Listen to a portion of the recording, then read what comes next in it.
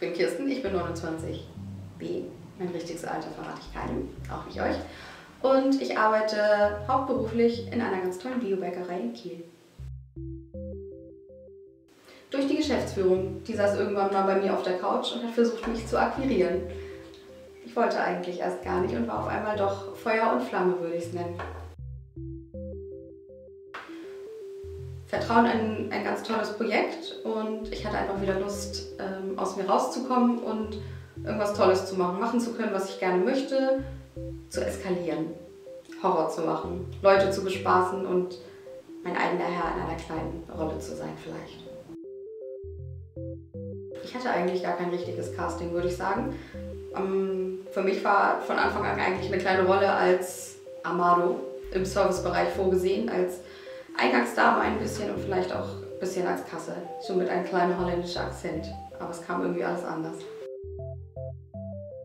Nein, im Gegensatz zu vielen anderen habe ich in keinen Gruppentheater, Schul-AGs mitgewirkt, sondern nur ein bisschen Erfahrung im Grusellabyrinth sammeln dürfen als schreiende Hexe im Eingangsbereich. In andere Rollen schlüpfen finde ich toll und ich hätte nie gedacht, dass ich so vielseitig bin. Also gerade die Rolle, die ich dieses Jahr spielen durfte, hat ja schon auch gezeigt, dass man ein bisschen was aus sich rausholen muss und nicht nur irgendwie normal reden muss, sondern vielleicht auch mal stottern darf.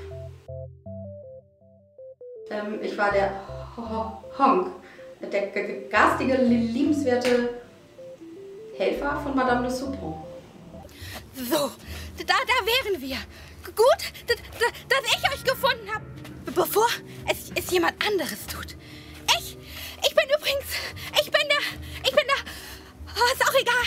Wichtig es ist nur, dass, Madame de... Sch, dass Madame de, de Support mich sagt.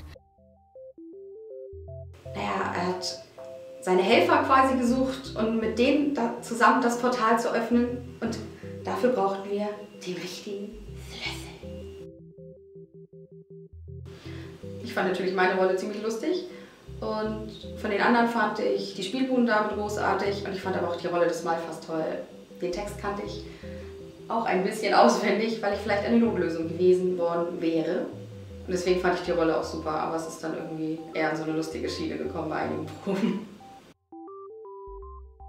Besonders ist, glaube ich, wenn es Rückführungen bei einem Schauspieler gibt, der eigentlich eine lustige Rolle hat. Und das gab es bei mir zweimal. Vielleicht nicht unbedingt nur durch mich bedingt. Ähm, weil die Erschrecker in dem Labyrinth vor mir einfach auch großartig waren.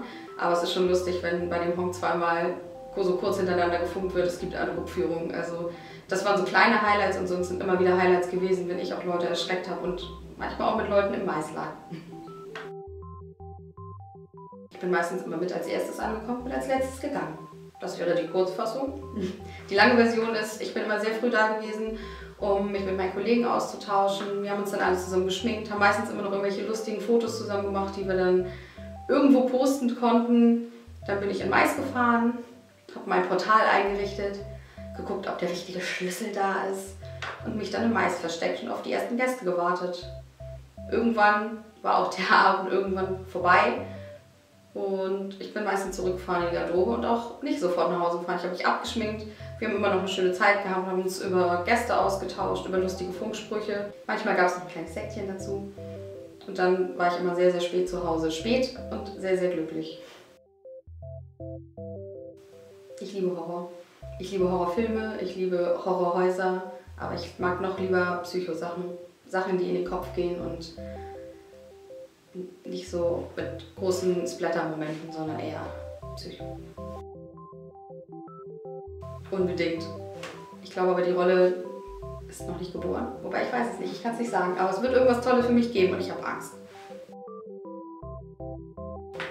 Ich mag Weihnachten und wünsche euch eine ganz tolle Weihnachtszeit, auch wenn man jetzt denken würde, ich mag Weihnachten nicht so, weil ich aus Versehen die Kranz gerade umgeschmissen habe und ein kleines Malheur hier veranstaltet habe. Ich wünsche euch eine ganz tolle Weihnachtszeit und viel Spaß beim Öffnen eurer kleinen Adventstürchen mit dem richtigen Süß.